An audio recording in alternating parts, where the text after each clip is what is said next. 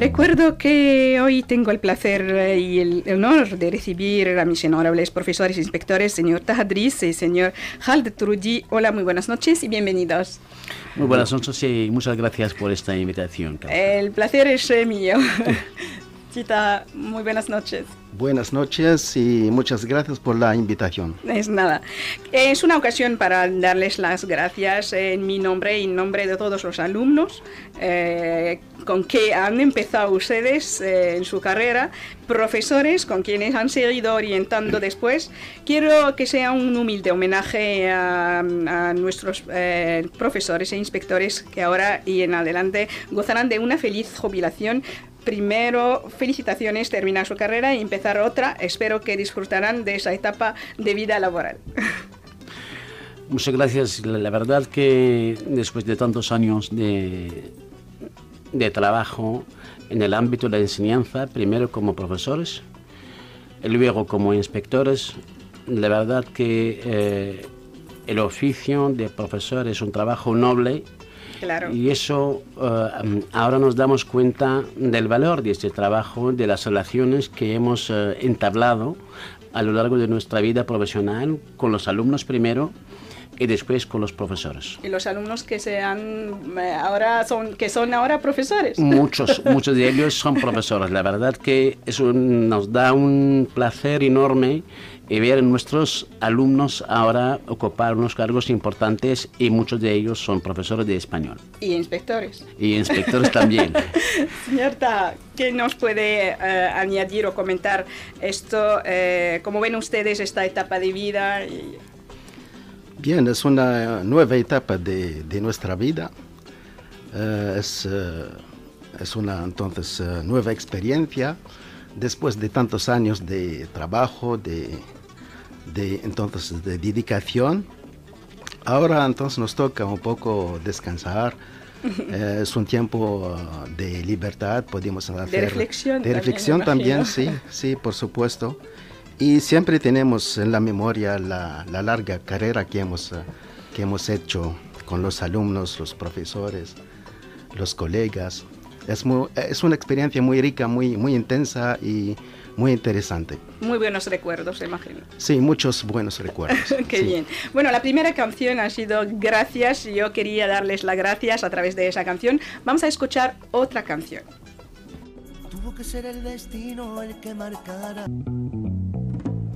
Vamos a terminar esta pequeña charla y bueno, vamos a seguir más bien. Si nos hablan un poco de sus inicios, uh, si Khaled y si Taha. Bueno, la verdad, sí, los inicios pues se remontan a muchos años atrás. no, no muchos. se remontan a los años 80, cuando empecé como profesor de francés, luego ya, porque en aquel entonces eh, la, casi la totalidad, casi la totalidad de los profesores licenciados, los estudiantes, digamos, licenciados en filología española, no podían dar clases de español. No había posibilidad. Solo habían dos casos o dos institutos, que mi compañero Taja lo sabe mejor que yo, pero eran pocos profesores de español.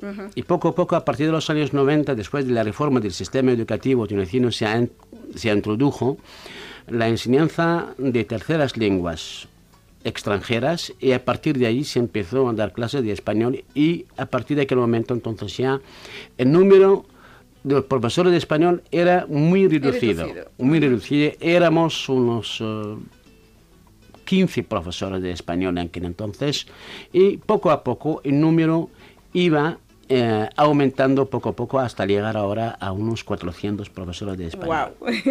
ya Sí, Cita, si nos puede hablar un poco del pasado. sí, eh, yo empecé entonces desde 1979, eh, porque yo formaba parte del primer grupo de los licenciados de español. Y en aquel entonces eh, no existía entonces el español en, en, mi pueblo y yo daba la clase de francés. En aquel entonces habían tres puestos únicamente en todo el territorio tunecino, uno en el Bardo, en Haznadar, otro en Sus Lycée Garçon de Sus, y otro en Bicerta. Bien, eh, entonces yo empecé dando clases de, de, francés, ah, de francés al principio y siempre intentaba no olvidar y no dejar aparte español. el español. Yo tenía en aquel entonces eh, la animación de un grupo, de, de un club eh, cultural y entonces eh, yo enseñaba a los alumnos eh, el, el español. Inicios. Sí, los, los inicios, eh, la canción en español, la cultura española, etc. Y cuando empecé entonces a dar clases de español en el 89, yo tenía unos alumnos preparados para el español. Y me, me recuerdo perfectamente que habían eh, tres clases enteras eh, de español eh, en, Ah, el, sí, en el primer curso que... El que- primer año. En Sí, el primer año, año, tres, sí. Tres clases, qué bien. tres clases de español en el Instituto de, de Ras Jbel. Wow, qué bien. Sí, luego entonces empecé la, la experiencia, entonces fue, entonces participé como, bien fui nombrado, fui nombrado como, eh, no sé, como, es decir, consejero pedagógico al principio, siempre eh, teniendo la, la tarea y la función de- del inspector sin tener el, el título, de Título. inspector, sí, Ujú. porque Pero no existía, no había. entonces- y... Sí, entonces no existía entonces el título de inspector de, inspector, español. claro. Hasta el, el principio de los años eh, 2000 eh, participé en el concurso y entonces eh, logré entonces eh, tener el primer puesto de inspector de español en Túnez. Muy bien, muy bien. Si nos habla un poco de... eh, ustedes han vivido el español desde el principio. Hay una evolución en esto en- en- desde aquel entonces hasta ahora. Si nos pueden dar una pequeña idea. Bueno, la evolución, eh, si hablamos, bueno, para ser eh, mucho más precisos, eh, se enseñaba el español antes, o sea, si remontamos un poco, porque nosotros la pregunta, ¿cómo, cómo nos dedicamos a la enseñanza del español? Primero, o sea, nuestros orígenes remontan a los años 70, porque el español claro. se enseñaba un poco antes en determinados institutos secundarios como el Bardo, sobre todo Hasnadar. Y eh, luego ya, eh, cuando nosotros terminamos nuestra carrera como estudiantes, no había puestos de trabajo, Claro. solo excepto, como acaba de mencionarlo mi compañero, eh, en tres institutos. Pero luego ya, cuando empezó eh, el, el proyecto, digamos, o bien, eh, cuando empezó la nueva reforma del sistema educativo en Túnez en los años eh, 90, pues ya había pocos alumnos y muy pocos profesores. En determinados institutos, en cuatro o cinco institutos en la capital, y había en Testur también, Sí. y en SUS. En SUS. Esos ya son, y en Bizerta. Bueno, son los pocos institutos donde se, se, enseñaba. se enseñaba el español. Luego ya eh, hemos empezado poco a poco esta generación, la, si podemos decir la generación de los 90, si podemos llamarla así, las 90, ¿Cómo- cómo eh, porque ¿Cómo no? la, enseñaba- la enseñanza del español empezó antes, pero negamos la... Con la nueva reforma del sistema Sí. educativo en Túnez, cuando empezó en los años 90, pues ya eh, el número era muy reducido, los materiales eran materiales, o bien me refiero a los manuales, Sí, sí, eran manuales mm, españoles. Y luego ya que continuaban también, mm, no voy a hablar del método adoptado, pasamos del método directo al método comunicativo, pues eso ya es un detalle pedagógico y didáctico, pero luego ya empezamos ya a em, notar la- el interés de los alumnos en diferentes zonas del país, llegando hasta el centro del país, luego el norte y el sur. Claro. Hasta ahora tenemos la enseñanza del español, la encontramos en todas las provincias del país, con los grados, claro, con diferencias Sí. entre una provincia y otra. Por ejemplo, en el litoral hay una presencia del español muy importante, tanto como en la capital y algunas ciudades, pero En algunas centro, provincias sí, sí. todavía el número no es demasiado grande, no es demasiado importante, como es, por ejemplo, el caso del, de- del oeste, del suroeste. Sí. Señor Taja, ¿qué nos puede añadir? Sí, lo mismo. Entonces, yo digo lo mismo, es decir, que hay un crecimiento muy importante en cuanto al número de los eh, profesores, de los alumnos. Eh, al principio, en los años 90, es decir, en 1990, cuando fuimos eh, la primera vez a Madrid como un grupo de profesores, éramos únicamente 12 profesores.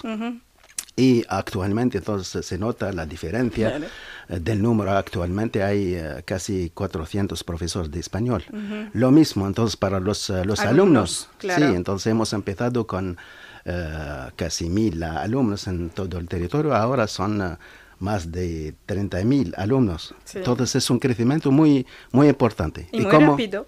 Sí, sí, muy rápido. Muy rápido. como lo, lo acaba de decir mi colega Khaled, al principio eh, usamos manuales eh, españoles. Hemos empezado con español en directo uh -huh. al principio, luego hemos uh, usado L, L -huh. ¿sí? y los españoles nos han ofrecido los derechos de edición. Hemos trabajado muchos años con L. Hasta el 2007 es la fecha entonces de la elaboración Edición, del primer manual, manual tunecino, tunecino sí, sí, sí Alcántara 1 y luego Alcántara 2 para los dos niveles. Sí, muy bien. Vamos a escuchar esta canción y ahora de vuelta. Vamos a acabar el tiempo va muy rápido en su compañía. Les, les agradezco mucho esa, esa, pequeña charla, sus consejos y recomendaciones para los nuevos inspectores y los nuevos profesores. ¿Muy difícil? No, no, no es muy difícil, pero digo que primero quisiera uh, saludar a todos los profesores de español en todo el país. Pues la verdad que he tenido la oportunidad de conocer a muchos de ellos, entre ellos, y la verdad que eh, estoy valorando, tengo que valorar el trabajo que están haciendo los profesores de español eh, en todo el país. Luego mmm, me gustaría animar a todos los profesores y a los nuevos inspectores para que sigan adelante, para que sigan con eh, el mismo mm, el mismo entusiasmo, el mismo ánimo que hemos tenido durante los últimos años y que tenemos, la verdad, muy buenos profesores de español, la verdad. Eso no, no estoy echando flores, pero es la verdad. es la verdad que todo el mundo lo dice, todo el mundo lo conoce y eh, espero que la enseñanza del español siga adelante. Muchas gracias. De nada. Señorita. Sí, entonces, uh, siguiendo la misma idea, primero entonces yo saludo a todos los profesores, los colegas de español, uh, especialmente uh, un, un, fuerte saludo a mi, mi, mi, amigo y colega Shokri, Rim, -huh. que son... Mis colegas también. Sí, claro.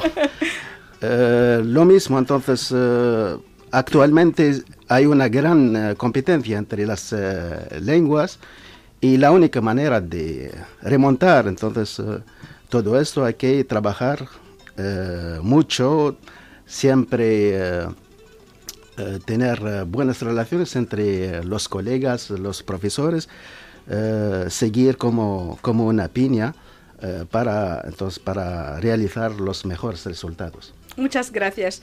Eh, les agradezco mucho de la visita. Eh, espero que vamos a, ver, hacer otra visita, como no. Saludo también al señor Hedius Leti. Que ha, que ha, empezado con la jubilación y, eh, y bueno, eh, muy feliz noche para todos desde RTCI.